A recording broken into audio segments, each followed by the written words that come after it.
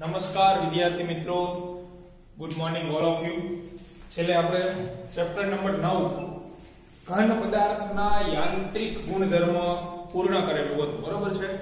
આજના લેક્ચરમાં આપણે નવા ચેપ્ટરની શુભ શરૂઆત કરીશું. ચેપ્ટર નંબર 3 સુરેખ પથ પર ગતિ. અને આ ચેપ્ટર જે છે એ જેડબલી અને નીટની દ્રષ્ટિએ ખૂબ જ મહત્વનું ચેપ્ટર છે. તમે અત્યાર સુધીના જેડબલી અને નીટના કોઈ પણ પેપર ઉઠાવીને જોઈ લો, તમને આ ચેપ્ટરના બે એમસીક્યુ અથવા એક એમસીક્યુ ફરજિયાત જોવા મળે. બરોબર છે? બે કરતા વધારે પણ હોઈ શકે. એટલે આ ચેપ્ટર આપણે બહુ વ્યવસ્થિત રીતે ડીપમાં ભણીશું. બીજી વસ્તુ. કે આના પછીનું ચેપ્ટર છે ચેપ્ટર નંબર 4 સમતલમાં ગતિ. એમાં આ ચેપ્ટરના પાયાની તમારે જરૂર પડશે.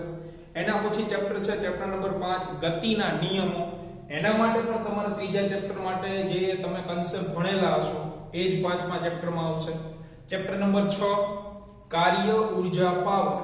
એના માટે પણ તમારે આ ચેપ્ટરમાં અમુક રાશિઓ આવશે, એની જરૂર પડશે. અને ચેપ્ટર નંબર 7 ચાક ગતિ. એના માટે તો 100 એ 100% આ ચેપ્ટરની જરૂર તમારે પડશે. કહેવાનું મીનિંગ કે આગળના ચેપ્ટર તમારે વ્યવસ્થિત રીતે ભણવા તો ફરજિયાત આ ચેપ્ટર જે છે એ તમને આવડવું જરૂરી છે. એના માટે બીજો કોઈ રસ્તો આપણી પાસે નથી. બીજી વસ્તુ કે આ ચેપ્ટરના લેક્ચર ડેઈલી તમે અટેન્ડ કરો એટલે ફરજિયાત એક વખત જોઈ જે આપણે લખાણ મોકલીએ, એને રિવિઝન કરી લો કારણ કે તમે જેટલું વ્યવસ્થિત આ ચેપ્ટરને પચાવેલું હશે, એટલું તમને ભૌતિક વિજ્ઞાન ધોરણ 11 નું એકદમ સરળ લાગશે એની ગેરંટી બરોબર છે? એટલે આ ચેપ્ટરમાં તમારે ડેઈલી જે લેક્ચર આવે એ તૈયાર કરી લેવાના. ટી સ્કૂલની અંદર આપણે ચડી જાય, પછી લેક્ચરનું રિવિઝન કરો, તોય કોઈ પ્રશ્ન નથી. બરોબર છે?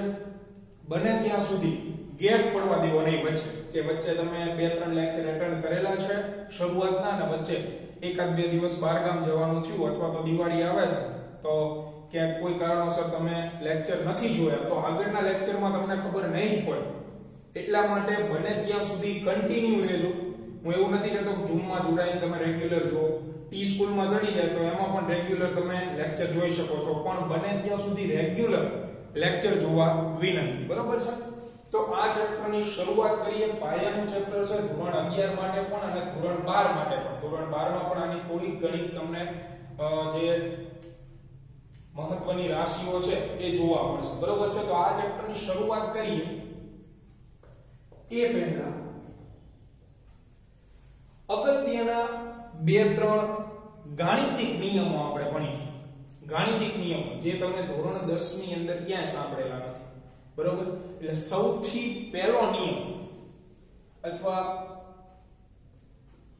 પહેલી બાબત આપણે ભણવાની છે વિકલન. વિકલન, બરોબર? તો વિકલન ભણીએ, જેને અંગ્રેજીમાં કહેવાય ડિફરન્શિએશન.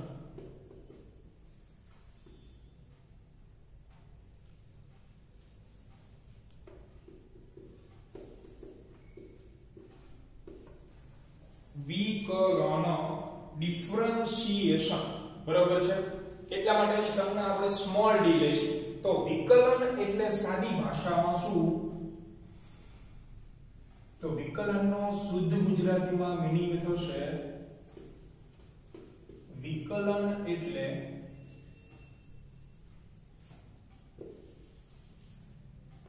બદલાવ. અથવા તમે એને કહી શકો સૂક્ષ્મ ફેરફાર.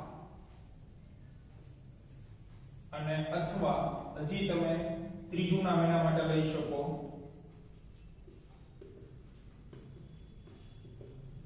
સૂક્ષ્મ તફાવત.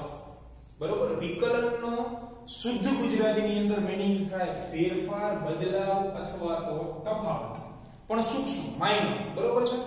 તો આ વિકલનનો સાદો વિનિમય હવે આપણે જોઈએ કે વિકલન તમારે કઈ જગ્યાએ આવશે? તો વિકલન ત્રીજા ચેપ્ટરમાં ડગલે ને પગલે આવશે. દરેક દાખલા એવું માની પણ ચાલો. શરૂઆતમાં આપણે જે પણ દાખલાઓ ગણશું, એમાં વિકલન તમને 100% જોવા મળશે. તો વિકલનના અમુક પાયાના નિયમો છે. જે મેથ્સ વાળાને તો ધોરણ 12 માં અથવા ધોરણ 11 માં પ્રેક્ટિકલી આખે આખું ચેપ્ટર ભણવાનું આવશે મેથ્સની અંદર, બરોબર? પણ બાયોલોજી વાળાની સાથે પલ્લો નહીં પડે. બરોબર? એટલા માટે બાયોલોજી વાળા માટે જ આ આપણે વ્યવસ્થિત અગાઉ હું તમને શીખવાડી દઉં છું, કારણ કે આની જે માહિતી છે એ ધોરણ 11 પૂરતી નથી. ધોરણ 12 માં પણ તમને વિકલન જોવા મળશે. એટલે ત્યારે પછી એવું ન થાય વિકલન તો અમને આવડતું નથી. એટલા માટે ચેપ્ટર 3 ની શરૂઆત આપણે હજી કરેલી જ નથી. એના પહેલા હું તમને વિકલન અને બીજું એક છે સંકલન. આ બે વસ્તુ હું તમને બહુ વ્યવસ્થિત રીતે ભણાવીશ. જેટલા લેક્ચર થાય એટલા લેક્ચર જ્યાં સુધી તમને આ ન આવડે, ત્યાં સુધી આપણે ચેપ્ટરની શરૂઆત નહીં કરીએ, બરોબર? તો વિકલનમાં તમે વ્યવસ્થિત ધ્યાન આપજો. તો વિકલનનો મિનિંગ થાય બદલાવ, સૂક્ષ્મ ફેરફાર અથવા સૂક્ષ્મ તફાવત. હવે વિકલન કરવાનો એક ગોલ્ડન રૂલ છે સોનેરી નિયમ. સોનેરી નિયમ શું છે એ સમજાવું તમને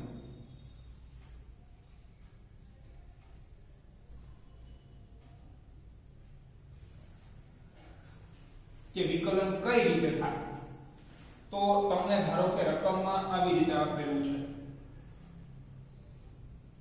કે b upon dx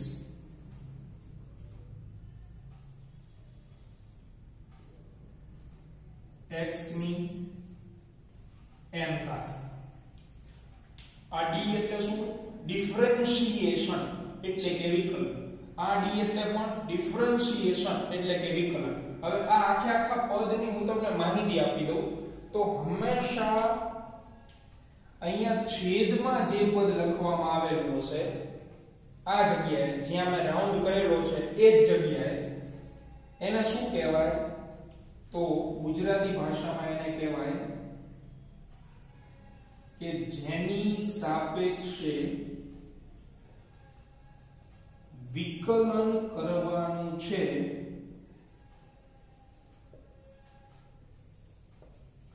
તે પદ. જેની સાપેક્ષે વિકલન કરવાનું અથવા જેની સાપેક્ષે તમારે ફેરફાર જોતો છે, બદલાવ જોતો છે, તફાવત જોતો છે, બરોબર?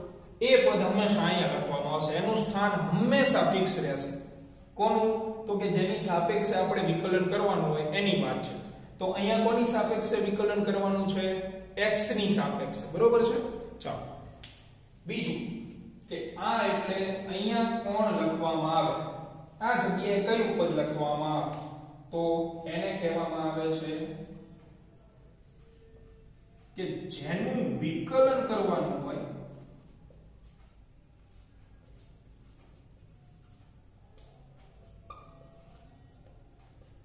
તે પદ તમારે જેનું વિકલન કરવાનું છે ઓલરેડી એ પદ અહીંયા આવશે. જેની સાપેક્ષે કરવાનું હશે, એ છેદમાં આવશે. કહેવાનો મિનિંગ જેનું વિકલન કરવાનું હોય એ ફરજિયાત ક્યાં હોવું જોઈએ? અંશમાં હોવું જોઈએ. અહીંયા કૌંસમાં લખી દઉં. કે જેનું વિકલન કરવાનું હોય એ અંશમાં હોવું જોઈએ. અને જેની સાપેક્ષે વિકલન કરવાનું હોય એ હંમેશા ક્યાં હોવું જોઈએ? તો કે છેદમાં હોવું જોઈએ. અને આ ઉપર n તમને જે દેખાય છે, એ છે ઘાતાંક. યાની કે ઘાત. એ ઘાત ધન પણ હોઈ શકે, ઋણ પણ હોઈ શકે. તો પ્રશ્ન આ રીતે પૂછાશે કે d dx, x ની ગમે ઘાતો. 1 2 3 4 1 1 2 3 ગમે. જરૂરી નથી એક્સ હોય. અહીંયા એમ પણ પૂછે ડી અપોન ડી વાય તો વાયની ઘાત ડી સેન તો ઝેડની ઘાત. કહેવાનો મિનિંગ કે જેની સાપેક્ષે વિકલન કરવાનું હોય, જેનું વિકલન કરવાનું હોય બંને સરખા હોવા જોઈએ. એ આપણે બીજા નિયમો જે લખાવશું, એમાં આવશે. આ છે સોનેરી નિયમ. સોનેરી નિયમમાં બીજી કોઈ વધારે માથાકૂટ નહીં આવે. આવું પદ આપેલું હોય તો એનું વિકલન શું થાય? તો એનું વિકલન આવી રીતે થાય મિત્રો કે d dx x ની n ઘાત which is equal to n into x ની n minus 1 ઘાત. That is the answer of this question. આવો કંઈક પ્રશ્ન તમને પૂછેલો હોય તો એનો જવાબ આવો આવશે. આ છે સોનેરી નિયમ વિકલન. જો અહીંયા શું કહ્યું મેં? તો n છે એ આગળ આવતા રહેશે. ઘાતાંક જે છે ક્યાં આવતી રહેશે? આગળ આવતી રહેશે. અને આ પદ જે છે એ એમ ના, એટલે જેનું વિકલન કરવાનું છે, એને કોઈ ફેર નહીં પડે. એ એમ ના રહેશે. પણ ઘાતાંકમાંથી એક ઘાત શું થઈ જશે? ઓછી થઈ જશે. એટલે આને તમે અંગ્રેજીમાં નિયમનું નામ આપી શકો.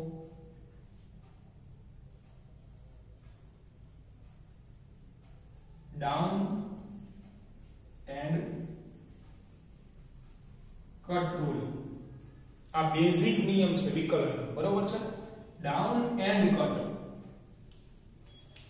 ડાઉન એટલે નીચે પડવું. એટલે ઘાતાંક જે છે, એ નીચે પડશે. નીચે એટલે ક્યાં? આગળ આવી જશે. એટલે અહીંયા જે ઘાતાંક હતી, એ આગળ આવી ગઈ આવ્યું.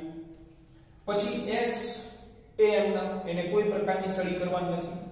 અને ઉપર જે ઘાતાંક હતી, એમાંથી એક ઘાત પ્રેમથી કટ કરી નાખવાની. n 1 સપોઝ તમને પ્રશ્ન એવો પૂછેલો છે, d dx, x ની 3 ઘાત. તો વિકલન શું થાય? તો તગડો આગળ આવી જશે. 3 x ની 3 1 એટલે કેટલી ઘાત વધે? 2 ઘાત. તો આને કહેવાય down and cut rule that is the golden rule of differentiation વિકલનનો આ ખૂબ જ પાયાનો નિયમ છે, સોનેરી નિયમ છે. બરાબર છે? દરેક જગ્યાએ આ નિયમ એપ્લાય થશે. ડાઉન એન્ડ કટ બેઝિક નિયમ. પછી આગળ બીજા ત્રણ ચાર નિયમો છે, એની ચર્ચા પણ આપણે કરતા જઈએ, એના વિશેના આપણે એક્ઝામ્પલ પણ જોતા જઈએ. એટલે ક્યાં તકલીફ પડે કે પણ વિકલનનો બેઝિક નિયમ આ છે કે ઘાતાંક આગળ આવતી રહે, પછી તમારે જે તે પદ લખવાનું, કે જેનું તમે વિકલન કરી રહ્યા હો અને ઉપર જેટલી ઘાતાંકો હોય, એમાંથી એક ઘાતાંક જે છે એ તમારે ઓછી કરી નાખવાની. એક ઘાતાંક ઋણ હોય તોય ભલે ધન હોય તોય એ બરોબર છે? ધારો કે માઇનસ એક હોય તો માઇનસ એક માઇનસ કેટલી ઘાત થાય? માઇનસ બે. બરોબર છે? તો આ બેઝિક નિયમ છે. અને આગળ હવે જે બીજાના નીચેના નિયમો છે, એ આપણે જોતા જઈએ. પણ આને તમારે ભૂલવાનું નહીં. શું કહેવાનું? Down and cut. આ બેઝિક નિયમ. તો વિકલન. આ વિકલન થયું. અને હવે આપણે આગળ એના બીજા નિયમો વિશે ભણતા જઈએ અને એક્ઝામ્પલ્સ ઉદાહરણ જોતા જઈએ.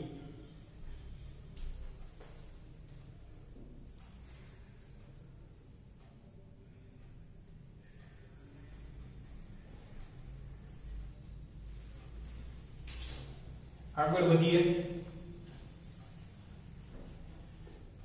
તો વિકલન માટે થોડા પાયાના નિયમો હું તમને શીખવાડીશ અને એ નિયમો એપ્લાય કરવા તમારે જરૂરી છે જ્યારે આપણે વિકલન કરી રહ્યા હોય ત્યારે.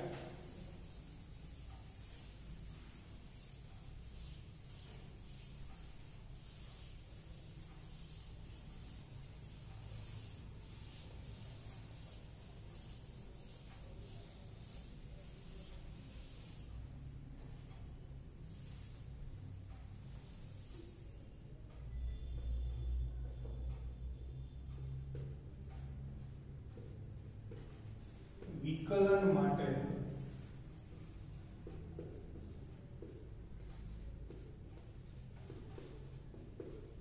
થોડા પાયાના નિયમો. જો આ બધી વસ્તુઓ થિયરીમાં પૂછાવાનું નથી, કે આવું તમને ક્યાંય બુકની અંદર પણ લખેલું જોવા મળશે ને?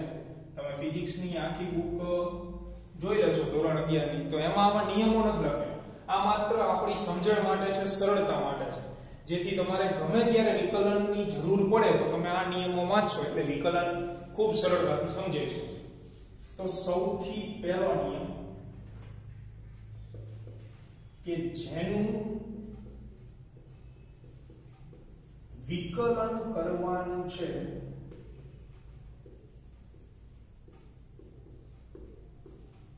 તે પદ, જેનું વિકલન કરવાનું છે, એ પદ હંમેશા ક્યાં હોય? અંશમાં. અને જેની સાપેક્ષે વિકલન કરવાનું છે.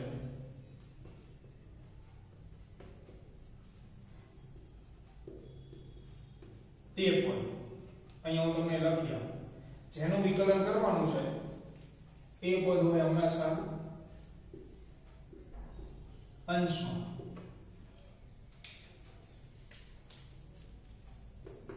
અને જેની સાપેક્ષે વિકલન કરવાનું હોય, તે પદ હંમેશા છેદમાં. તો જેનું વિકલન કરવાનું છે અને જેની સાપેક્ષે વિકલન કરવાનું છે, તે પદ. એટલે કે હંમેશા બંને પદ જે છે, સમાન હોવા જરૂરી છે. પહેલો નિયમ જો શું કહેવા માંગે છે કે તમે જેની સાપેક્ષે વિકલન કરતા હોય, એ પછી x હોય, y હોય, z હોય, p હોય, q હોય, ગમે. અને જેનું વિકલન કરતા એ બંને પદ સમાન હોવા જરૂરી છે. ધારો કે હું x ની સાપેક્ષે વિકલન કરતો હોય, તો અંશમાં x વાળું પદ જ હોવું જોઈએ. જો y ની સાપેક્ષે વિકલન કરતો હોય તો અંશમાં y વાળું પદ જ હોવું જોઈએ. જો z ની સાપેક્ષે વિકલન આપણે કરતા હોઈએ તો અંશમાં ફરજિયાત z વાળું પદ હોવું જોઈએ. બરોબર? ટૂંકમાં જેની સાપેક્ષે તમે વિકલન કરો એ પદ અને જેનું વિકલન કરો એ પદ. બંને હંમેશા કેવા હોવા જોઈએ? સમાન હોવા જોઈએ. બરોબર છે? જો ઉદાહરણ જોતા જઈએ આપણે. દરેક નિયમ બહુ વ્યવસ્થિત રીતે સમજજો અને કદાચ ક્યાંય ખબર ન પડે તો એ લેક્ચર પૂર્ણ થાય ત્યારે જ મને પૂછી લો. જેથી કરીને આગળ જેવા આપણે નિયમો ભણશું, એ બધા નિયમો મિક્સઅપ ન થઈ જાય. બરોબર છે? તો દાખલા તરીકે,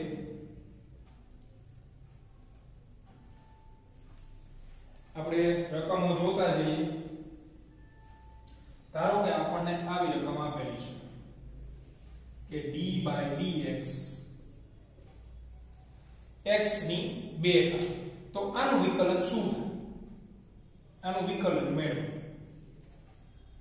તો વિકલન કરવા માટે આપણે શું કરીશું?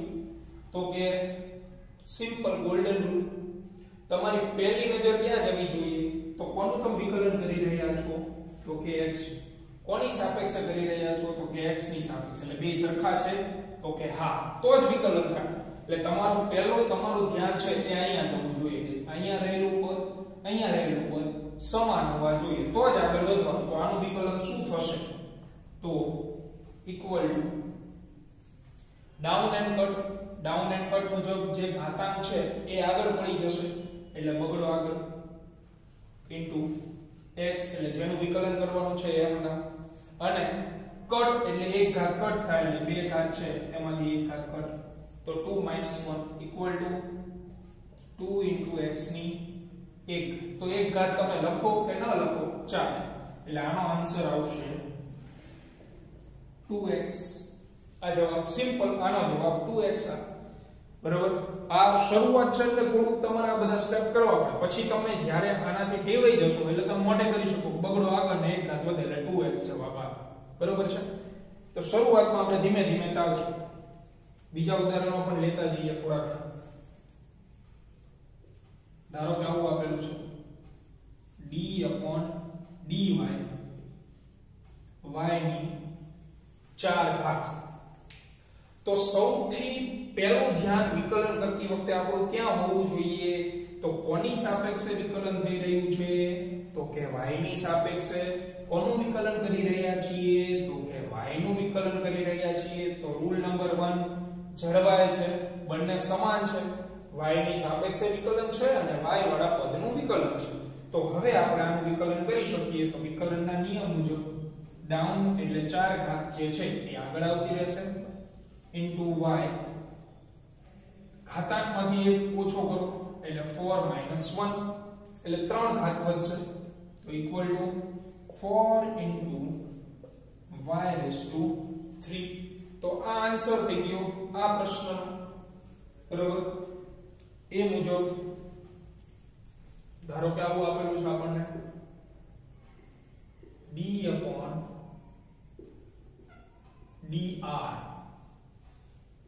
r ની માઇનસ બે ઘાત, ઘાતાંક તો ધન એ હોય અને ઋણ એ હોય, એવું જરૂરી નથી ધન ઘાતાંક જ તો હવે આનું વિકલન શું થાય? તો વિકલનના નિયમ પ્રમાણે પહેલા નિયમ મુજબ તમારું નજર અથવા તમારી ધ્યાન જે છે અહીંયા જવું જોઈએ. કોની સાપેક્ષે છે વિકલન? R ની સાપેક્ષે. કયા પદનું વિકલન છે? R વાળા પદનું જ વિકલન છે. તો બંને સમાન છે? તો હા, તો વિકલન થશે.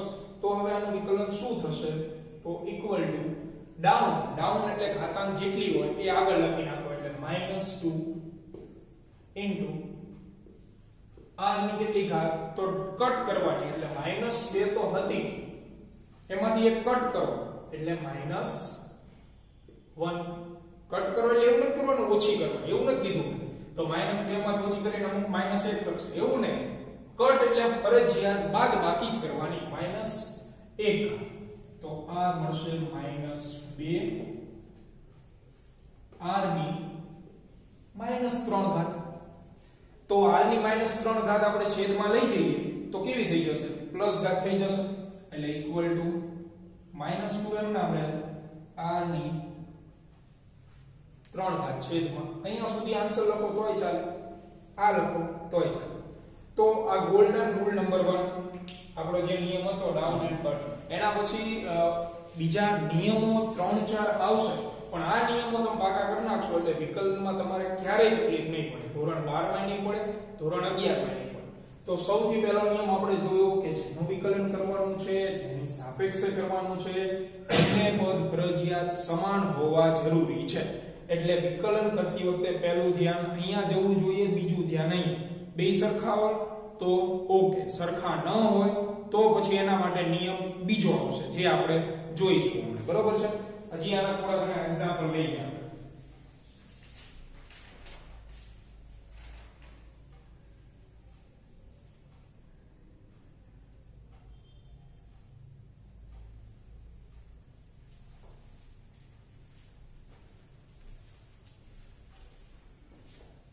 તો હજી આપણે આ જ નિયમને લગતા થોડા એક્ઝામ્પલ્સ જોઈએ અને એક બે ઉદાહરણ હું તમને જાતે પણ ગણવા આપીશ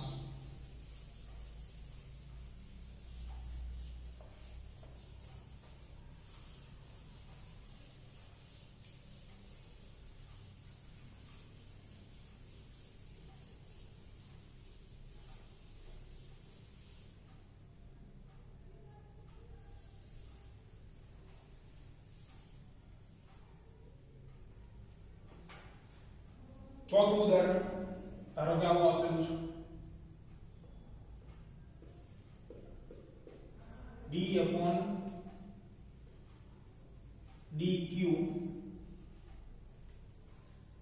q. ની 8 ઘાત. તો તો અહીંયા ચેક કરો. Q ની સાપેક્ષે વિકલન છે? Q નું વિકલન છે. તો વિકલન થશે. એટલે વિકલન થશે આ પ્રમાણે. કે 8 ભાગ નીચે પડી જશે એટલે આગળ પડી જશે. અને q ની થઈ જશે 8 1 એટલે 8q રેસ ટુ 7 ત્યાર પછી, હજી બીજું ઉદાહરણ કે ધારો કે આ પ્રમાણે આપેલું છે કે d d p બરોબર છે? તો કાઉન્સની અંદર ધારો કે આવું આપેલું છે આપણને. P square plus p raise to 4 તો હવે આનું વિકલન કઈ રીતે કરશું? તો ગભરાવાનું નહીં ક્યારે? આપણે નિયમ ફોલો કરવાના એટલે વિકલન ઓટોમેટિક થઈ જાય. તો ચેક કરો. P ની સાપેક્ષે વિકલન છે? P વાળા પદ બે આપેલા છે. આ બંનેનું વિકલન આપણે કરવાનું છે. તો સૌથી પહેલા કાઉન્સ ખુલ્લો કરી નાખો. તો કાઉન્સ ખુલ્લો કરીએ આપણે. એટલે આવું જોવા મળે d upon dp કાઉન્સમાં p સ્ક્વેર આ જ જે d upon dp છે, એ આની સાથે ગુણાશે. એટલે આવું થઈ જશે. Plus d upon dp p. ની 4 ઘાત. અને હવે તમે જુઓ નિયમ એપ્લાય કરી શકો. બે સરખા છે. અહીંયા પણ બે સરખા છે. તો ડાઉન એન્ડ કટ એટલે બે ઘાત જે છે, એ આગળ આવતી રહેશે. તો 2 આગળ p ની કેટલી ઘાત થઈ જશે? તો બે ઘાત હતી. તેમાંથી એક કટ કરો. એટલે 2 1 વચ્ચે પ્લસની નિશાની. એઝ ઇટ ઇઝ આમાં છે 4 ઘાત. એ આગળ પડી જશે. એટલે 4 ઇન્ટુ p ની 4 માઇનસ એક ઘાત તો હવે આનું સાદુરૂપ આપી દઈએ આપણે. એટલે ટુ પી ની 1 ઘાત પ્લસ 4 p ની કેટલી ઘાત થઈ જશે? ત્રણ ઘાત. તો આનો આન્સર છેલ્લે આવો મળે. 2 p 4p ક્યુબ જે તમે મોઢે બનાવી શકો. જો આ ચેક કરી લીધું. પછી ડાઉન એન્ડ કટ એટલે બગડો આગળ એક ઘાત છે, એટલે 2p આવી ગયું. 4p ક્યુબ અથવા તો 3 તો છેલ્લો આન્સર આવે બરોબર? અને હવે હું તમને બે એક એક્ઝામ્પલ જોડે જોડે ક્લાસ વર્કમાં આપું છું. D dz z. ની માઇનસ 4 ઘાત d dt t square plus t raised to 6 and d upon ds કૌંસમાં s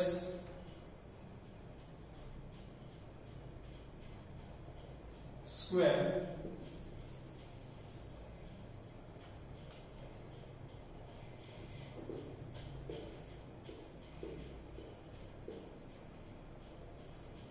s cube plus s square, બરોબર?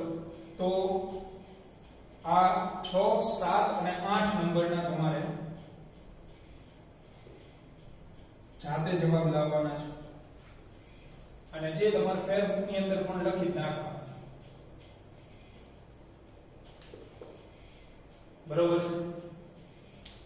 એક હજી હું ગણાવી દઉં કે ધારો કે એક ઘાતાંક આપેલી હોય તો શું? ધારો કે આવું આપેલું d dx. અને x ની એક ઘાત. તો શું થાય? ગોલ્ડન રૂલ તો આમાં ગોલ્ડન રૂલ એપ્લાય થાય જો આ બે સરખા છે. તો હા.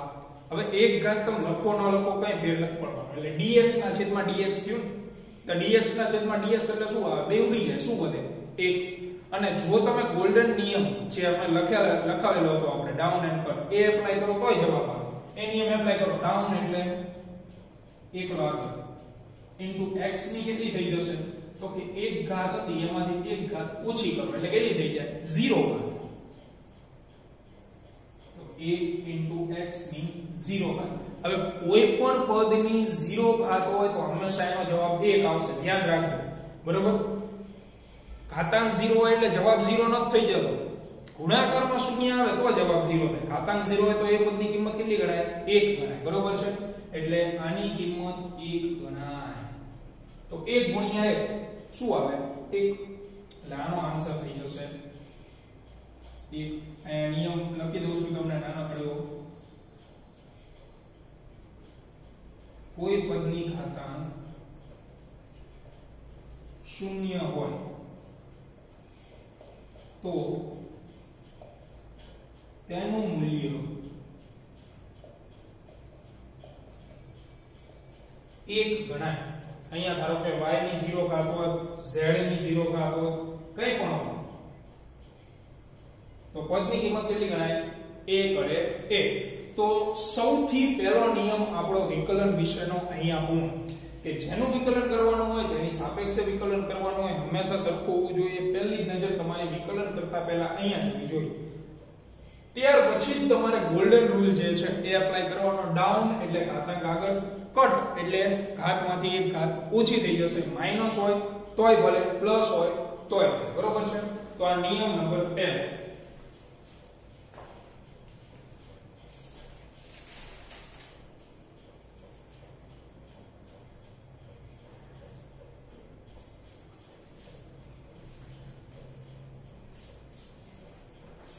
ત્યાર પછી જોઈએ આપણે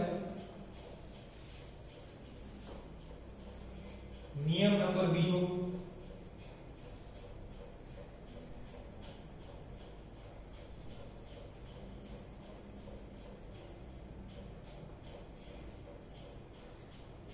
બરોબર છે આ નિયમમાં જનરલી બધાને ખ્યાલ આવી ગયો હશે એવી હું આશા રાખું છું અને હવે નિયમ નંબર બીજો એના વિશે આપણે જોઈએ ચલો ટોટલ ચાર નિયમો છે આ ચાર નિયમો તમે બચાવી લો એટલે વિકલનમાં નહીં તમારે ધોરણ 11 કે ધોરણ 12 એકે જગ્યાએ તકલીફ નહીં બરોબર તો બીજો નિયમ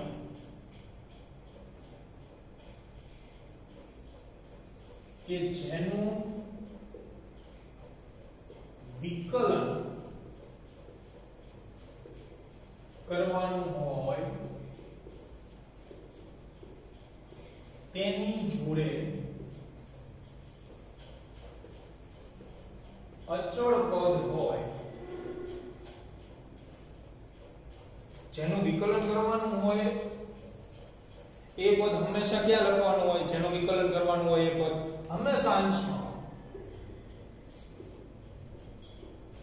અહીંયા હું એટલા માટે કૌંસમાં લખતો છું. જેનું વિકલન કરવાનું હોય, તેની જોડે અચળ પદ હોય તો વિકલન કરતા પહેલા તેને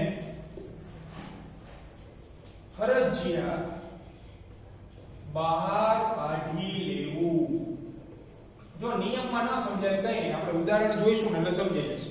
કહેવાય એવું માંગે છે કે વિકલન કરવાનું હોય તમારે જેનું એની જોડે જો કોઈ અચળ પદ આવેલું હોય, અચળ પદ કહેતા સંખ્યા અથવા તો અચળાંક, કે જેની કિંમત કોઈ દિવસ બદલાતી ન હોય, એવું પદ આવેલું હોય તો વિકલન કરતા પહેલા એને ફટાક દઈને બહાર કાઢી લેવા. જોતા જઈએ ઉદાહરણ આપણે, જુઓ ચલો. દાખલા તરીકે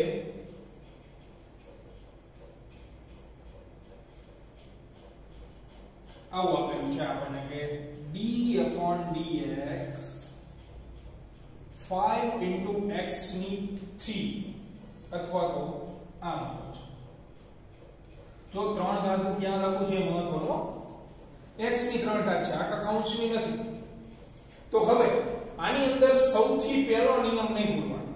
પહેલો નિયમ શું કહે છે? કે તમારી જે નજર છે, ધ્યાન છે, એ વિકલન કરતા પહેલા અહીંયા જોવું જોઈએ. કોનું વિકલન કરવાનું છે? તો કે x નું વિકલન કરવાનું છે. અથવા x ની ત્રણ ઘાત. કોની સાપેક્ષે? X ની સાપેક્ષે. બે સરખા છે, તો કે હા. તો વિકલન થશે. અને હવે આની અંદર પાંચડો તો અચળ પદ કહેવાય. તો અચળ પદ જે છે બહાર કાઢી લો બહાર એટલે એનો મીનિંગ d dx હોય. એની બહારની સાઈડ કાઢી. તો આને આવી રીતે લખાય? 5 આ 5 બહાર આવતા રહ્યા d dx, x ની 3 ઘાત. તો હવે આનું વિકલન તો તમે જાણો છો, નિયમ નંબર 1 મુજબ ખાલી પાંચડો જે હતો, અચળ પદ જે હતું, એ આપણે બહાર કાઢી નાખ્યું. તો કે 5 અને આનું ગોલ્ડન રૂલ પ્રમાણે ગોલ્ડન રૂલ શું કહે છે? તો કે ડાઉન ડાઉન એટલે કે આગળ આવતી રહેશે ઘાતાંક 3 આગળ. x ની કેટલી? તો કે 3 1 એટલે આ થઈ જશે 5 કૌંસની અંદર 3 x ની કેટલી ઘાત? 2 ઘાત. તો 2 નો ગુણાકાર કરો એટલે આન્સર છેલ્લે શું મળે? 15 x વર્ગ. આ થઈ ગયો આન્સર આપણો. તો તમે સિમ્પલ કરી શકો આને. જે અચળ પદો અહીંયા જોવાનું છે, અચળ પદમાં ક્યારેય ફેરફાર ન થાય. કારણ કે વિકલન એટલે શું? પહેલા જ લઈ બદલાવ. અચળ પદ બદલાવાનું છે. આ પાંચડો છે. તમે 6 મહિના પછી જુઓ તો એ 5 5 જ એક વર્ષ પછી જુઓ તો એ 5 5 જ એમાં કોઈ બદલાવ ન આવે. એટલે એનું વિકલન ન થાય. એટલે એ એમ નામ રહેશે. આનું વિકલન થાય. As per down and cut એટલે એનું વિકલન શું થાય? તો કે તગડો આગળ એટલે 5 તરી 15 x ની કેટલી વધે? તગડામાંથી એક કાઢો, બે કાઢો. તો 15x વર્ગ.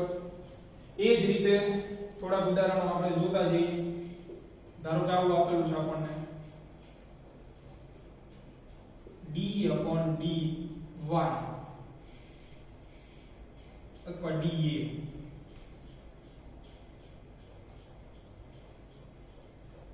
એટ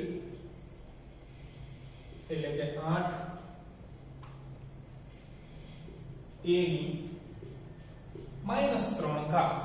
આવું પદ છે. તો વિચારીએ આપણે. કઈ રીતે થશે? તો સૌથી પહેલા તો અહીંયા જોવાનું છે. a વાળા પદનું વિકલન છે.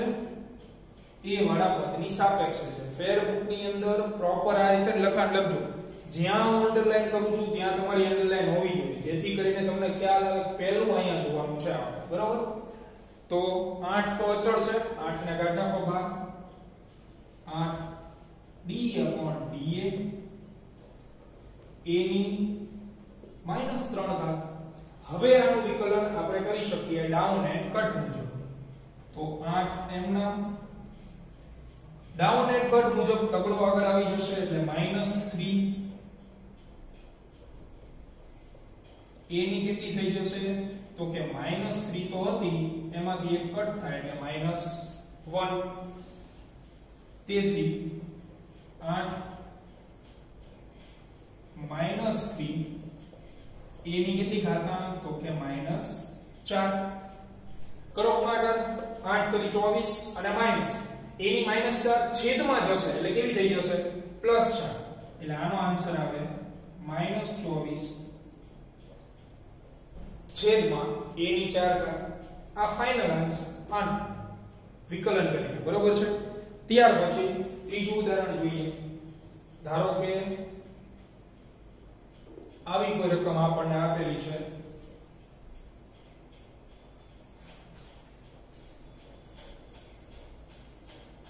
D upon dy કૌંસમાં x into y square. આવી રકમ છે. તો હવે આનું વિકલન શું થશે? તો નિયમ સૌથી પહેલું ધ્યાન તમારું અહીંયા હોવું જોઈએ. કે y ની સાપેક્ષે વિકલન કરવાનું છે. તો કોનું વિકલન થાય? તો કે જે y વાળું પદ હોય, એનું વિકલન થાય. એ સિવાયનું જે પદ હોય, એ આપણા માટે શું ગણાય? અચળ. એવું જરૂરી નથી કે અચળ પદ તરીકે તમને સંખ્યા જ આપેલી હશે. બરાબર? તમે જેની સાપેક્ષે વિકલન કરતા હોય કાઉન્સની અંદર એના સિવાયનું જે પણ પદ હોય, એ આપણા માટે શું ગણાશે? હંમેશા અચળ જ ગણાશે. એટલે અચળ પદ તરીકે જરૂરી નથી સંખ્યા આપેલી હોય, કિંમત આપેલી તમે y ની સાપેક્ષે વિકલન કરવા નીકળેલા છો, તો y વાળું પદ હોય, એનું વિકલન થાય. y સિવાયનું જે પદ હોય એ શું ગણાશે? અચળ. તો અચળ પદને આપણે હાકી કાઢીએ છીએ બહાર. તો અહીંયાથી x નીકળી જશે બહાર. એટલે x આવી ગયો અહીંયા. અંદર વધશે d dy. y ની માઇનસ બે, સોરી, પ્લસ બે આવું વધે બરાબર? એટલે એક વસ્તુ મગજમાં ફિટ કરી નાખો કે જરૂરી નથી અચળ એટલે કે સંખ્યા જો. તો હવે આનું વિકલન કરીએ. X m ના આનું વિકલન શું થશે? તો કે ડાઉન એન્ડ કટ. એટલે બગડો આગળ. Y ની 2 1 ઘાત એટલે કે x કૌંસમાં 2 y. કારણ કે y ની 1 ઘાત વધે. તો આનો આન્સર ગણાશે 2 x, y. આ આપણો ફાઇનલ જવાબ. તો નિયમ નંબર બીજો, કે અચળ પદોને તમારે ફરજિયાતપણે હાંકી કાઢવાના છે. અને ત્યારબાદ જ વિકલન કરવું.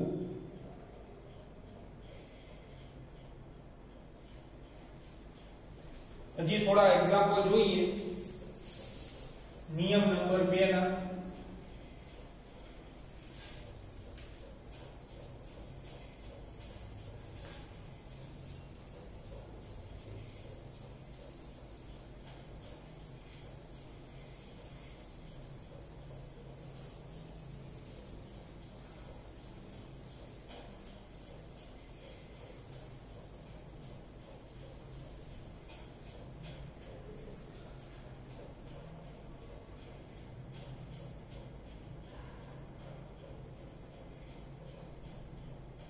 એના પછીનું જે એક્ઝામ્પલ આપણે ચોથો એક્ઝામ્પલ કદાચ હશે, ક્રમ મને યાદ નથી. તો d dz કૌંસની અંદર આપેલું છે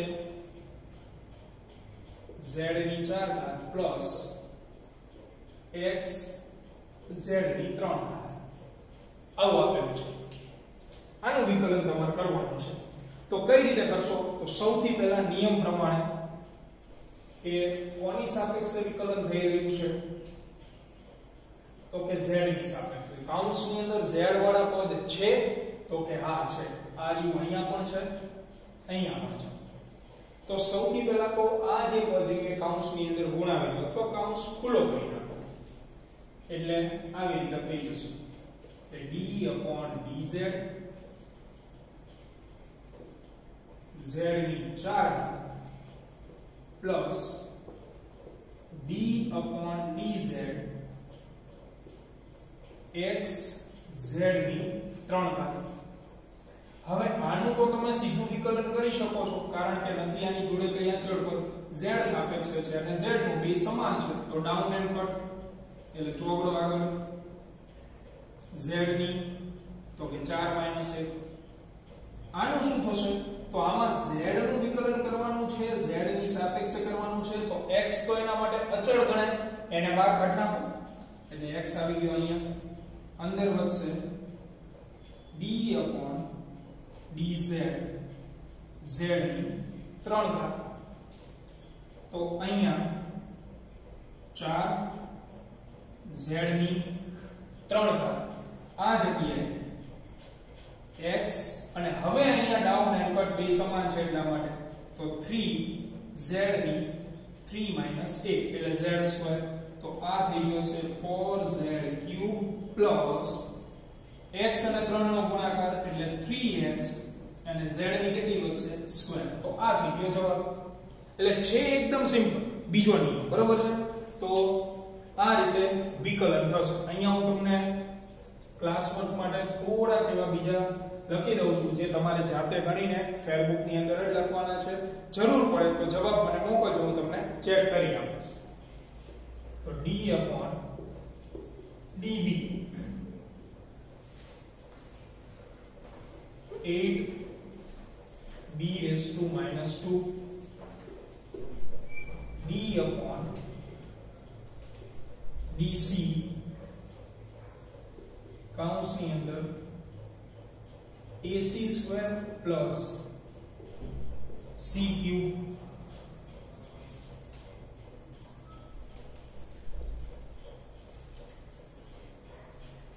ત્યાર પછી d upon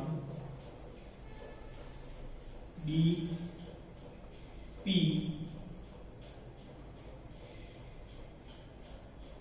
q p raised to 3 આ ત્રણના આન્સર્સ જે છે એ તમારે જાતે મેળવવાના છે અને જરૂર પડે તો મોકલી આપજો ચેક કરી દઈશ બરોબર તો બે નિયમ આજે આપણે ભણી ગયા વિકલન એટલે ફેરફાર બદલાવ અથવા તફાવત. સૂક્ષ્મ.